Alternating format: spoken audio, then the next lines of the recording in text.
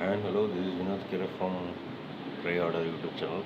Today we are going to see about Bali University from Try Hackney. This is one of the lab which is very interesting. So shall we know? Okay. These are the tasks I have already completed in Try Hackney. Okay, for first of all we are going to in map scan we have seven six ports opened 21 FTP 22 SSH 139 NetBIOS so it's uh, Windows machine. So one second. I have confused. No it's uh, uh, Linux machine only. So for more details you want to go to script and verbose scans and the version details so moving to Cobester I received one of the directory called internal. In this when I search in the web browser. It is a file upload options.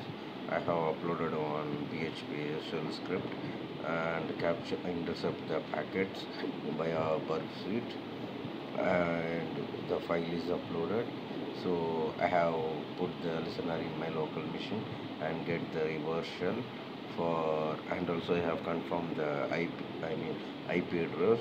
It is the victim machine only. So after that we will go to the flag 1 user.txt after that we want to move to privilege escalation. So I have find out one of the script uh, find a so you want to put this it will show the uh, directory have the access to the local users. And step 2 step 1 we want to move the bin directory.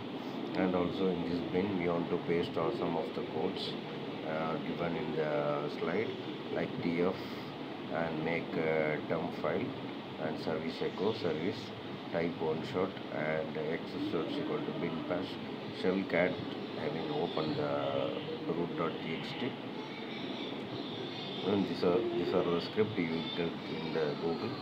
And finally we get the root flag. I mean finally we we got the root flag. Thanks for watching